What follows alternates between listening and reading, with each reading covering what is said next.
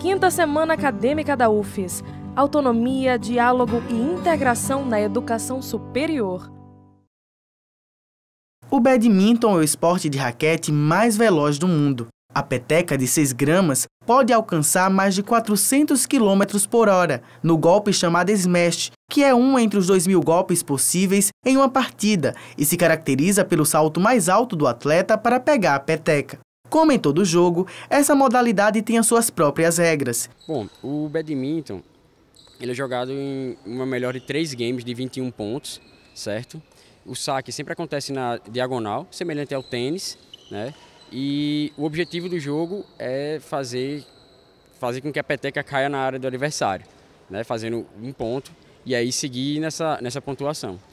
Acredito que a, a quadra é, é, ela tem um tamanho de 13 metros e 40, né, por 6 metros e 10 nos jogos de dupla. E é jogado tanto de simples masculino, feminino, dupla masculina e feminina e também a dupla mista. Para praticar este esporte é preciso de muita agilidade, concentração e intensidade, para não deixar a peteca cair e perder pontos.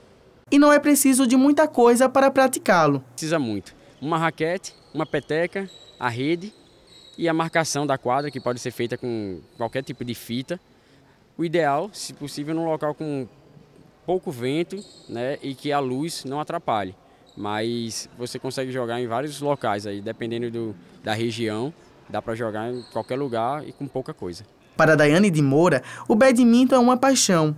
Monitora do projeto, ela destaca a importância das atividades para a saúde dos praticantes. E também tem a questão da saúde, é um esporte que, que bem dinâmico, então dificilmente você vai ficar ali parado, então você vai estar sempre se movimentando, então nunca vai ser a mesma coisa, então é sempre uma novidade, mesmo que você jogue sempre com, mesma, com as mesmas pessoas, sempre vai ser uma coisa diferente, sempre um aprendizado novo. O aluno de Engenharia Mecânica da UFES, Vinícius Amorim, encontrou na prática do badminton uma saída para se livrar do sedentarismo e da rotina estressante. Desde o ensino médio eu não venho praticado muitos esportes, aí eu já estou no quarto período da, do meu curso, e eu tenho notado que eu tenho ficado cada vez mais sedentário. Então, o badminton foi uma forma de eu começar a me exercitar aqui mesmo na UFES, para eu não precisar sair da UFES, por causa que o meu curso ele é bem pesado a o currículo, grade curricular. Então, queria uma coisa, um esporte que eu pudesse ficar praticar aqui.